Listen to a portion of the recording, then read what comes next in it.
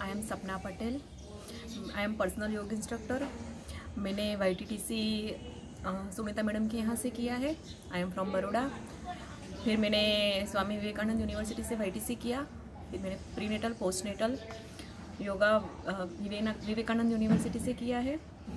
और इस कोर्स को ज्वाइन करने के लिए मुझे सुनीता मैडम ने ही बोला। और यहाँ आने के बाद मुझे hip alignment hip opening shoulder opening upper back opening फिर अलाइनमेंट का अच्छी तरह से सीखने के लिए मिला और ज़्यादा से ज़्यादा मैं सीख पाई।